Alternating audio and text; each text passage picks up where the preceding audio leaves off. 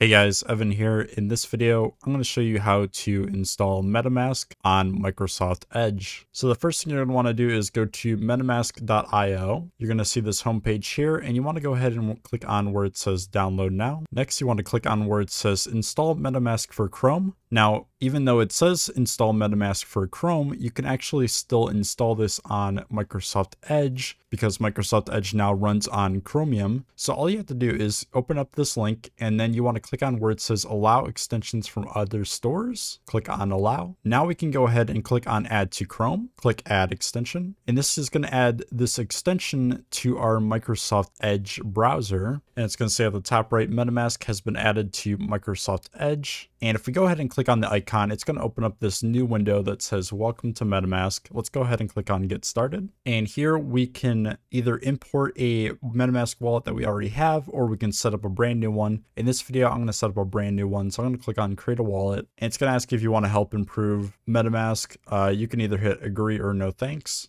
Next, you're going to need to create a password for your MetaMask wallet. So I'm going to go ahead and do that right now. Once you have entered a new password, go ahead and click on this box that says you agree to the terms of use and click on create. Now, once you have done that, it's going to give you a 12 word secret recovery phrase. So you should watch this video. It's a good explanation on how the recovery phrase works, but basically it acts as your master key to recover your wallet if you ever lose access to it. You want to make sure that you share this recovery phrase with no one because if they get access to your recovery phrase, they will have access to all of your funds and you definitely don't want that to happen. So just be sure to keep your recovery phrase somewhere safe and do not share it with anybody. So now we can go ahead and click here where it says reveal secret words. And I'll show you this phrase because I'm not going to actually use this wallet. So I'm just going to go ahead and copy this phrase here, click on next. And now we need to re-enter that phrase in the correct order. So I'm just going to paste the phrase that we copied earlier and I'm just going to enter that into this key phrase here. Once you've entered in your recovery phrase successfully, go ahead and click on confirm. It's going to say, congratulations, you have successfully created your wallet and your secret recovery phrase. So all we have to do now is click on all done. And now we have access to our MetaMask wallet on Microsoft Edge. And if we want to go ahead and view it in the extension form, we can click on the top right icon here and we'll see a drop down where we can see the exact same thing,